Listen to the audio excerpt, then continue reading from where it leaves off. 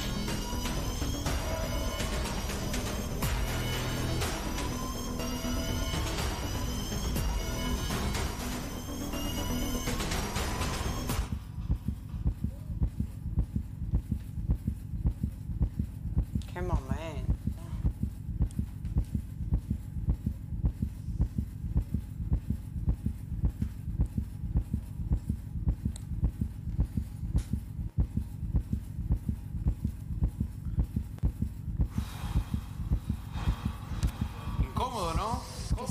El peso de la verdad lo llamamos. Prueba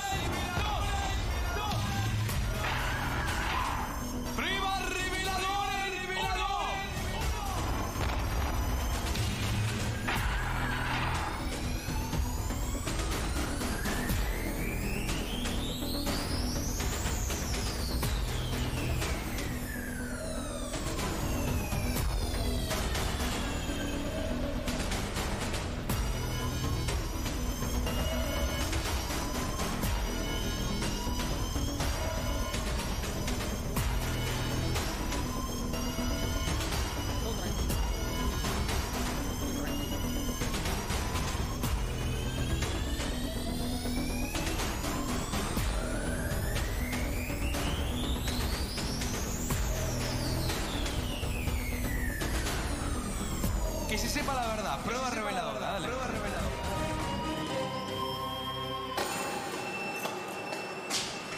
Ella es Emma. Está entrando. Hija, es momento de saber la verdad y recuperar el tiempo que hemos perdido. ¿Perdón? ¿Qué? Perdón. No entiendo nada. El sobre este es el sobre que vos abriste.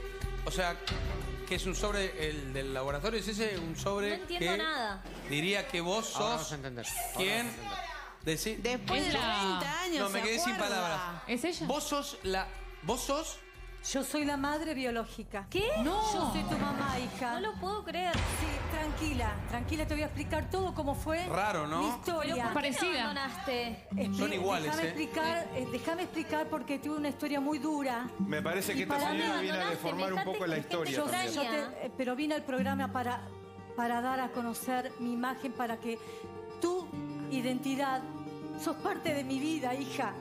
Por 30 años. Te tuve en mi vientre La hemos nueve meses. nosotros. Perdón, el que generó este vínculo, pará, pará. ocupamos, El que generó este vínculo y estuvo. Pará, pará, todo. pará. El que generó este vínculo, digo, ¿fuiste vos? No, ¿Cómo? ¿Vos la ayudaste a ella? no, ella me buscó a mí. Me está... jo- Ah.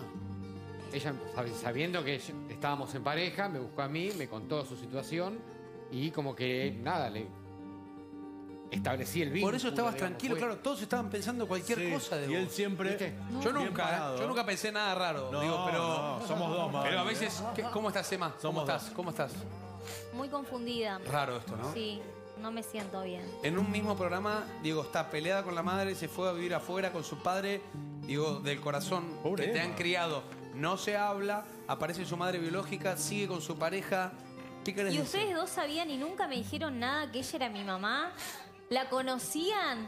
Pero te hemos criado Después lo de que mejor me decían que me con todo el amor que Te no tenemos. amor. todo el amor que tenemos. No, eso no te es tenemos, amor. te lo vamos a tener toda la vida. Voy a decir algo. Dele un abrazo. No pudimos, no, perdón, no perdón. pudimos. No, no se puede. Lamentablemente no se puede dar abrazos COVID. por la pandemia. Sí, sí. un abrazo. Te que- pido Le- no, le voy, le voy a pedir algo yo. No. Les voy a pedir algo yo. Que charlen, que hablen Eh, tiempo. También vamos a hacer algo por primera vez y les vamos a prestar el salón contiguo al estudio nuestro con todos los protocolos y obvio, gente Ah, que no se ve bien. seguido.